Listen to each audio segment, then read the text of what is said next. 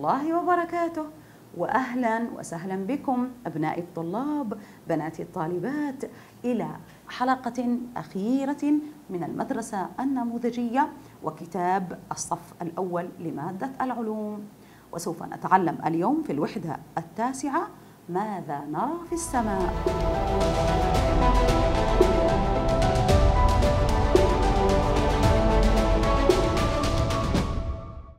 سوف نتعلم اليوم ماذا نرى في السماء في النهار وماذا نرى كذلك في السماء في الليل. تابع معي هذه الشريحة. ما نراه في السماء نهارا. والنهار هو عندما تكون الشمس موجودة. هذا هو النهار. النهار عندما تكون الشمس موجودة ونستطيع رؤيتها وتمييزها. ماذا أرى في السماء نهارا؟ ماذا نرى؟ شمس. شمس. نرى الشمس. ماذا نرى في السماء نهارا؟ الشمس. الشمس. ماذا ترى في الشريحة؟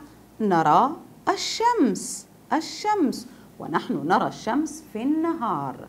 في النهار. يا ترى ما هي فوائد الشمس؟ هل الشمس مفيدة؟ صحيح إنها مفيدة. الشمس تعطينا الضوء. صحيح. فنحن لا نستطيع أن نرى بالنهار من دون الشمس. الشمس مصدر الضوء في النهار. إذا الشمس تعطينا الضوء. تعطينا الضوء. وتعطينا الدفء. وتعطينا الدفء. هل هناك فائدة أخرى للشمس؟ نعم. نستطيع تحديد الاتجاهات. نستطيع تحديد الاتجاهات. في المكان الذي تشرق منه الشمس يعتبر اتجاه شرق. يعتبر اتجاه شرق. وكذلك المكان الذي تغرب فيه الشمس يعتبر غرب. وبالتالي نحن نستفيد من الشمس بتحديد الاتجاهات.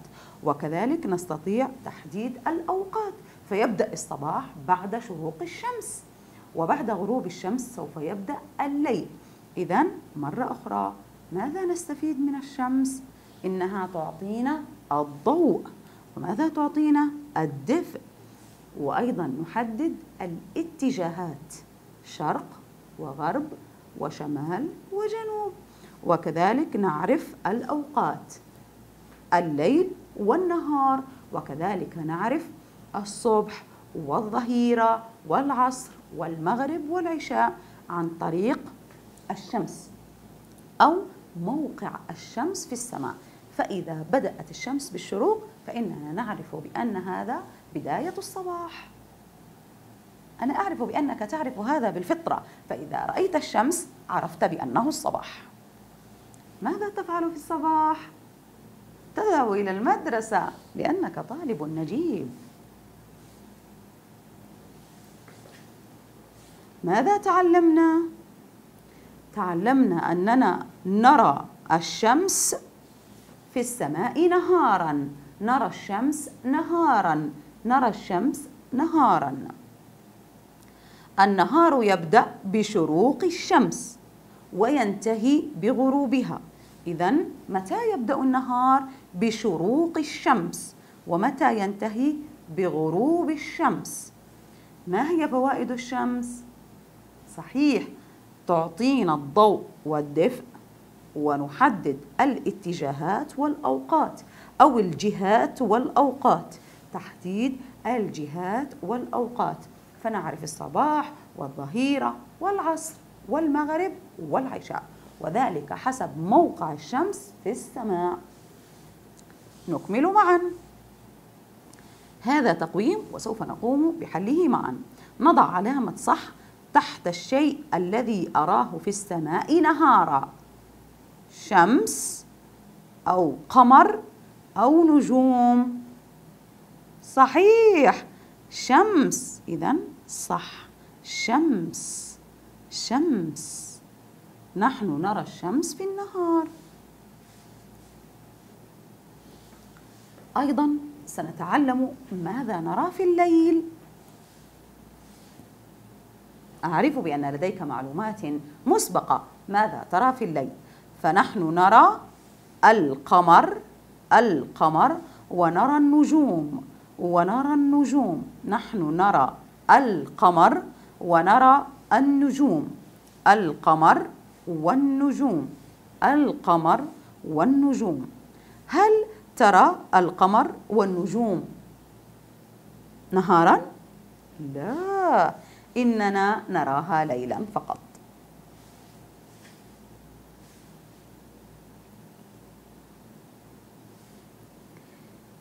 ماذا نرى في السماء ليلا؟ سنتابع. في بداية الشهر يكون القمر صغيرا ونسميه هلال. فلنتابع الصورة. هلال. هلال. سأحاول رسم هلال هلال. وسوف أقوم بتلوينه. هلال هلال. الهلال هو القمر في بداية الشهر ويكون صغيرا هكذا كما نرى في الصورة. وماذا عن منتصف الشهر؟ في منتصف الشهر يكون القمر بدرا يكون القمر بدر بدر. كما نرى في الصورة ويصبح شكل القمر هكذا دائرة كاملة. أسمي هذا بدر بدر. في نهاية الشهر يرجع القمر كما كان في بدايته وهنا سيرجع هلال. هلال. إذا القمر في بداية الشهر هلال وفي وسط الشهر بدر. وفي آخر الشهر هلال. ماذا تعلمنا؟ أننا نرى القمر والنجوم نهارا أم ليلا؟ ليلا. أرى القمر والنجوم ليلا. القمر يكون هلالا في بداية الشهر. ونهاية الشهر. ويكون بدرا في منتصف الشهر. ويكون بدرا في منتصف الشهر. والبدر عندما يكون القمر صورة دائرة كاملة كما رأينا في السورة السابقة. ما هي فوائد القمر؟ فوائد القمر كما ذكرنا سابقا بأنه يكون هلالا في بداية الشهر. وبدرا في منتصفه وهلالا في آخره. وبالتالي فإن القمر يحدد بداية الشهر ومنتصف الشهر وآخر الشهر. إذا من فوائد القمر تحديد بداية الشهر ونهايته. وهناك فائدة أخرى أنه ينير السماء ليلا. القمر ينير السماء ليلا. والأشهر التي نحددها عن طريق القمر نسميها شهور قمرية شهور قمرية. فنحن نصوم رمضان إذا رأينا هلال رمضان. إذا أتى رمضان أطلب منكم أن تتابعوا شاشة التلفاز لتعرفوا متى يبدأ رمضان وذلك عند ظهور الهلال لأنه يظهر في بداية الشهر.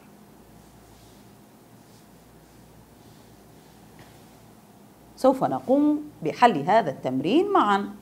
ماذا نرى في السماء ليلا؟ سوف نضع دائرة حول الهلال.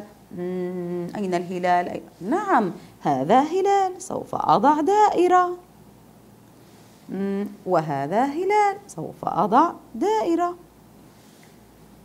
وحول البدر سوف نضع مربع عفوا مستطيل. وسوف أضع هنا مستطيل. إذا سوف أقوم برسم مستطيل تحت البدر.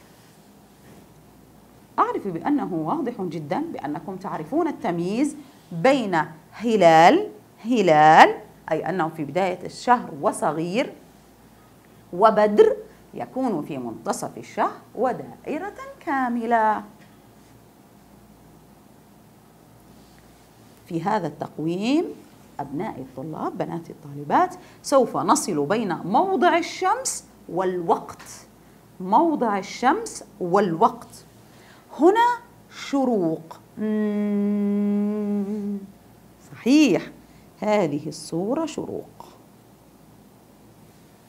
وأين الغروب؟ غروب عندما تغرب الشمس أي تتوارى. لا نستطيع أن نرى الشمس. سوف تختفي. إذا هنا غروب. صحيح.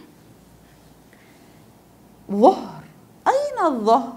هنا أم هنا أم هنا. عندما تكون الشمس في منتصف السماء أم أنها تكون قد تأهبت للغروب أم أنها هنا تأهبت للشروق.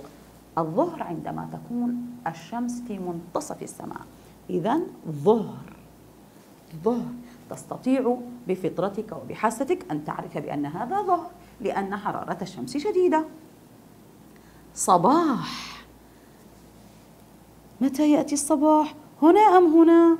صحيح هنا تشرق الشمس ويبدأ الصباح فالصباح مع الشروق شروق الشمس يعني الصباح وغروب الشمس يعني مغرب الغروب يعني مغرب هذا غروب الشمس إذا وهذه كلمة مغرب المغرب مع الغروب المغرب مع الغروب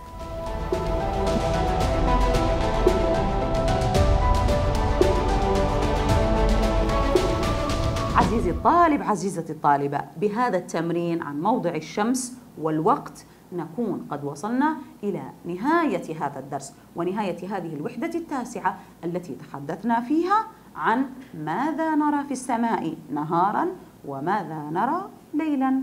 وعرفنا بأننا نرى الشمس نهارا والنجوم والقمر ليلا. إلى اللقاء وفي أمان الله.